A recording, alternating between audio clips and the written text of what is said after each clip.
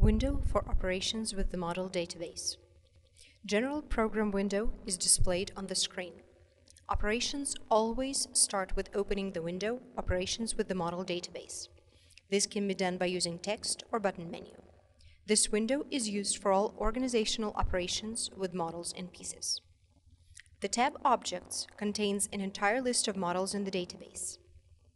The tab Pieces contains the list of pieces for a selected model.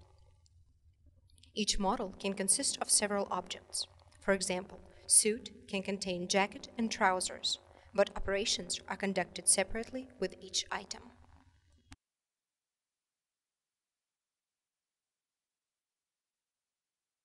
List of model parameters, for example, object name, size scale, is first composed in the Service Program Utilities.